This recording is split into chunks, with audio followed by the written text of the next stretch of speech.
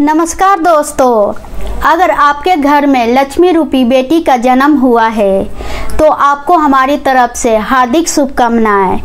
क्योंकि बेटी से ही घर की रौनक होती है, लेकिन यदि आपने अपने घर की इस रौनक के भविष्य को सुरक्षित करने के लिए कुछ नहीं किया है, और अपने बेटी के भविष्य को लेकर उलझन में हैं तो आपको चिंता करने की ज़रूरत नहीं है। क्योंकि इस वीडियो में हम आपको सुकन्या समृद्धि योजना के बारे में बताएँगे, जिससे आपकी बेटी का भविष्य भी सुरक्षित हो जाएगा और आप अपनी बेटी का शादी धूमधाम से कर पाएँगे।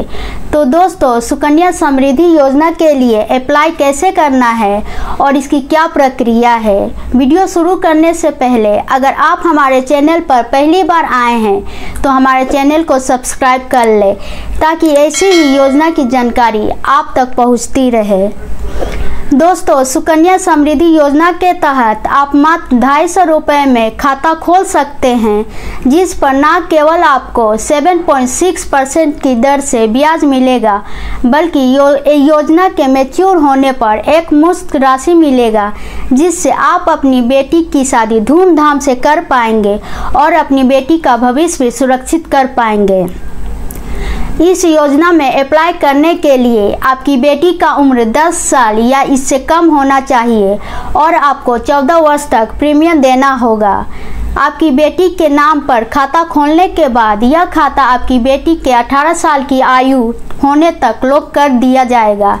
यानी आपकी बेटी की उम्र 18 साल होने के बाद ही आप इस खाते से पैसे की निकासी कर सकते हैं। वहीं अगर आप 21 साल तक इंतज़ार करते हैं तो आपको राशि के रूप में और ज़्यादा पैसे मिलेंगे।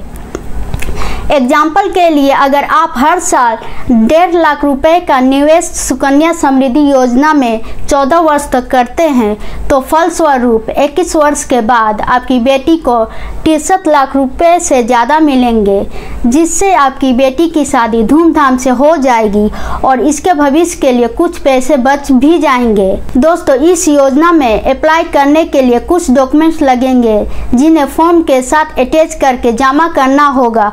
वह डॉक्यूमेंट्स है आपके बेटी का आधार कार्ड बेटी के बैंक खाते की पासबुक माता पिता का आधार कार्ड, आय प्रमाण पत्र, जाति प्रमाण पत्र, निवास प्रमाण पत्र, मोबाइल नंबर और बेटी का पासपोर्ट साइज़ का फ़ोटो।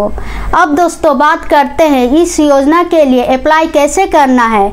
तो दोस्तों, इस योजना के लिए अप्लाई ऑफलाइन करना होगा। सुकन्या समृद्धि योजना में आवेदन करने के लिए आपको अपनी नज़दीकी पोस्ट ऑफ़िस या बैंक में जाना होगा और इस योजना का फॉर्म मांगना होगा। फॉर्म मिलने के बाद फॉर्म को ध्यान पूर्वक भरना होगा और मांग, मांगे जाने वाले डॉक्यूमेंट्स को सेल्फ अटैच करके फॉर्म के साथ अटैच करना होगा और फॉर्म को पोस्ट ऑफ़िस या बैंक में जमा करना होगा। फॉर्म जमा करने के बाद आपको रसीद मिल जाएगा।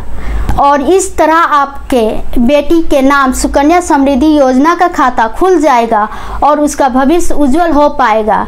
तो दोस्तों, यह जानकारी आपको कैसी लगी हमें कमेंट में बताएँ। अगर आपको यह वीडियो अच्छी लगी तो वीडियो को लाइक करें और शेयर करें। अगर वही आप हमारे चैनल पर नए हैं तो हमारे चैनल को सब्सक्राइब कर लें। तो मिलते हैं एक और नए इंटरेस्टिंग वीडियो के साथ। तब तक के लिए जय हिंद, जय भारत।